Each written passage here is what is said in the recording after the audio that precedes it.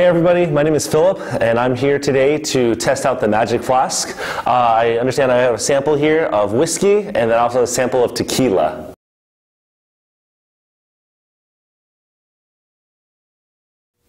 All right, so I'm gonna dig into the whiskey now.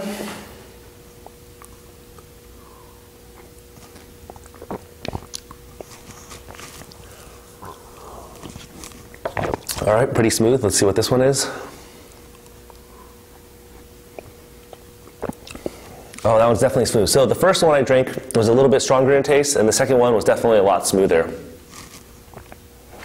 So which, which I like more. I'm gonna try also now the tequila.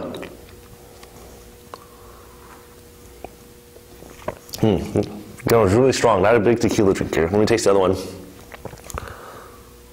Oh, let me uh, rinse. Sorry about that. All right, let's try the other one here.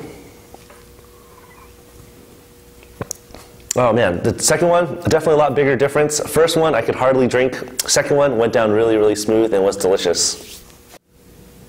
I don't drink often, and so I'm just kind of drinking these. You might have seen it on my face, uh, but I believe the Magic Flask would be a perfect, um, uh, perfect bottle for events, for friends, for gifts. Uh, perfect for the person who wants to drink some alcohol.